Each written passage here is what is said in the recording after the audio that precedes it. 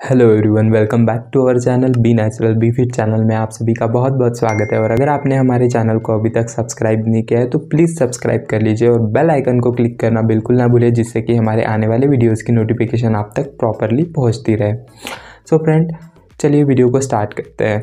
पहले तो फ्रेंड्स मैं आपको बात बताऊँ कि वीडियो बहुत ही ज़्यादा इन्फॉर्मेटिव होने वाला है और इन्फॉर्मेटिव होने के साथ साथ बहुत ही ज़्यादा इंटरेस्टिंग भी होने वाला है, बहुत ही ज़्यादा नॉलेजेबल भी रहने वाला है आपके लिए। अगर आप टीनेजर्स हो या फिर टीनेजर से आगे भी हो मतलब बड़े भी हो, फिर भी आपको ये वीडियो देखना बहुत ही ज़्यादा ज़रूरी है। तो वीडियो तक वीडियो को लास्ट तक बने रहिए तो चलिए वीडियो को स्टार्ट करते हैं। सो so फ्रेंड्स आज का हमारा टॉपिक है प्राइवेट पार्ट्स में हेयर्स क्यों होते हैं? फ्रेंड्स बहुत सारे टीनेजर्स को ये क्वेश्चन हो सकता है कि उनके प्राइवेट पार्ट में हेयर्स क्यों होते हैं। हालाँकि जब मैं टीनेजर्स था तब मुझे भी ये सारे क्वेश्चंस मतलब आते थे मेरे दिमाग में और मैं बहुत ज़्यादा सोचता रहता था इन सब चीज़ों के बारे में। और मैं बहुत ही ज़्यादा शाई टाइप का बंदा था तो मैं किसी को पूछना भी प्रेफर नहीं करता था। सो so, बहुत जगह पर मैंने गूगल भी करके देखा था बट उस टाइम पे वो इन्फॉर्मेशन नहीं मिली थी। बट फ्रेंड्स बाद में मुझे पता चल गया था कि हमारे प्राइवेट पार्ट्स में हेयर्स क्यों होते हैं और क्यों हमें वो प्रॉब्लम को फेस करना पड़ता है। सो so फ्रेंड्स हमारे प्राइवेट पार्ट में हेयर्स होना बहुत ही ज़्यादा ज़रूरी है। मैं ये आपको बात बता दूँ। फ्रेंड्स बहुत सारे लोग जो होते हैं, वो हेयर को पूरी तरीके से ट्रिम कर देते हैं। जैसे कि पूरी तरीके से ब्लेड से या फिर क्रीम से पूरा शेव क्लीन शेव कर लेते हैं। ऐसा करना, अगर आप आपको मतलब आपको ठीक लगे तो आप कर भी सकते हो बट ये वीडियो देखकर हो सकता है कि आपकी जो ये थिंकिंग है वो चेंज हो जाए। फ्रेंड्स मैं सजेस्ट करूँगा, अगर आप टीनेजर्स हो या फिर आप एडल्ट भी हो तो भी आपको सीजर से कट करते रहना चाहिए हेयर्स को। ब्लेड या क्रीम का यूज़ ना करें। एक तो ब्लेड से आपको, कट लगने के भी चांसेस होते हैं, प्लस जो वहाँ के हेयर्स जो होते हैं, हेयर्स की ग्रोथ जो होती है वो हार्ड होने लगती है। हार्ड होने की वजह से आपको बहुत सारी प्रॉब्लम फेस करनी पड़ती है ईचिंग और वहाँ पे मतलब बहुत ज़्यादा ईचिंग भी होती है, स्वेटिंग तो होती ही है। और बहुत से लोग क्रीम्स का भी यूज़ करते हैं। हालाँकि मैं ऐसा नहीं बोलूँगा कि क्रीम यूज़ करना गलत है। अगर आपको आपको ठीक लगे तो आप ज़रूर कर सकते हैं बट मेरी माने तो आप क्रीम ना यूज़ करते हुए सीधे से कट कीजिए, जिससे कि क्या हो, आपके जो हेयर्स है वो पूरी तरीके से कट ना हो। क्लीन शेव वहाँ पर ना हो और क्लीन शेव ना होने की वजह से छोटे छोटे पार्ट्स में वहाँ पर हेयर रहना बहुत ही ज़्यादा ज़रूरी है। सो so फ्रेंड ऐसा मैं क्यों बोल रहा हूँ, ये तो आपको आगे पता चलेगा।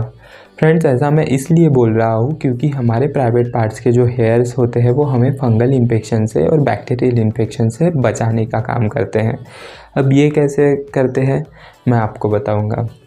फ्रेंड्स जब हम इंटीमेट करते हैं जब हम अपने पार्टनर्स के साथ इंटीमेट करते हैं, अगर आपका पार्टनर नॉर्मल है, उसको किसी प्रकार का फंगल इन्फेक्शन नहीं है या फिर बैक्टीरियल इन्फेक्शन नहीं है या फिर वो बहुत ही ज़्यादा हाइजीनिक है, वो अपने हाइजीन को मेंटेन करके रखता है तो आपको कोई भी प्रॉब्लम नहीं हो सकती है। बट आपका फ्रेंड्स जो है वो नॉर्मल नहीं है।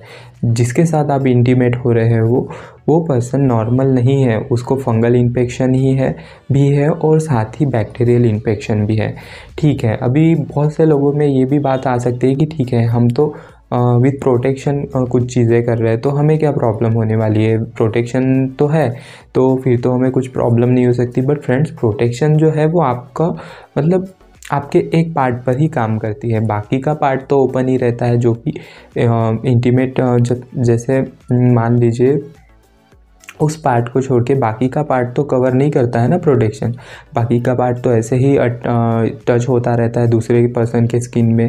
तो उसी के लिए वहाँ पर हेयर्स होते हैं कि वो पार्ट दूसरे पर्सन के पार्ट से टच ना हो और टच ना टच होकर उनके अगर बॉडी में किसी भी प्रकार का बैक्टीरियल या फंगल इन्फेक्शन है, वो आपके बॉडी में ट्रांसफ़र ना हो ट्रांसफ़र होके आपको आगे चलकर प्रॉब्लम ना हो। इस वजह से वो वहाँ पर हेयर्स होते हैं। सो आई होप कि आपको ये पता चल गया होगा कि वहाँ पर हेयर्स क्यों होते हैं। और हो सके तो सीधे से ट्रिम करना ही प्रेफर कीजिए। ब्लेड से या फिर क्रीम से क्लीन शेव करना प्रेफर ना कीजिए। अब बात कर लेते हैं अंडर आर्म्स में हेयर्स क्यों होते हैं। अंडर आर्म्स में फ्रेंड्स हेयर्स होते क्यों है? इसका तो रीज़न मुझे भी नहीं पता है बट ये मैं इतना बता सकता हूँ कि ये हार्मोनल हार्मोनल चेंजेस की वजह से होते हैं। जब हम छोटे रहते हैं, तब तो हमें वहाँ पर हेयर्स नहीं होते हैं अंडर आर्म में बट जब हम बड़े हो जाते हैं, तब हमारे हार्मोनल बॉडी के अंदर हार्मोनल बहुत सारे चेंजेस हो जाते हैं। इसके वजह से फिर वो चेंजेस होने लगते हैं। और फ्रेंड्स बॉडी के और भी पार्ट्स में हेयर्स आना चालू हो जाते हैं हार्मोनल चेंजेस की वजह से ही। हालाँकि अंडर आर्म में बॉडी पे हेयर्स होना ना होना कोई बड़ी बात नहीं है बट वहाँ के अगर आप हेयर ट्रिम करना चाहो तो आप क्लीन शेव कर सकते हो। फ्रेंड्स जैसे कि मैंने बोला कि और भी बॉडी पार्ट्स में हमारे हेयर्स आते हैं, जैसे कि अगर मेल है पर्सन तो उनको हेयर मतलब दाढ़ी पे और अपर लिप पर भी हेयर्स आ सकते हैं।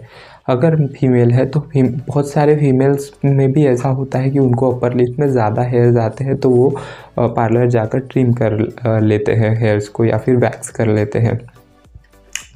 सो आई होप फ्रेंड्स कि मैंने आप सभी के ये डाउट्स क्लियर किए हो। अगर आपको और भी कोई डाउट है तो प्लीज़ मुझे कमेंट में बताइए। मैं आपको उसका भी आंसर करने की बहुत ही जल्द कोशिश करूँगा। फ्रेंड्स आप सभी को ये वीडियो अगर अच्छा लगा हो तो वीडियो को लाइक कीजिए चैनल को सब्सक्राइब कीजिए।